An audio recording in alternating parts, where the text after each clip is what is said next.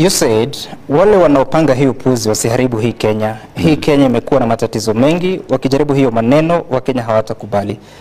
What, what is being organized? Nini inapangwa? Uh, you know there are many schemes that are going on every day. You have I seen meetings. You have seen meetings um, uh, of uh, trying to divide the people of Mount Kenya region. You have seen meetings of undermining the deputy president. You have seen people being called and being offered money to impeach the deputy president, to remove him from office, and all that nonsense that is going on. And I was saying, you see, some are elected by the people. And I asked the people directly uh, whether they have a problem with my leadership. And they said they don't have.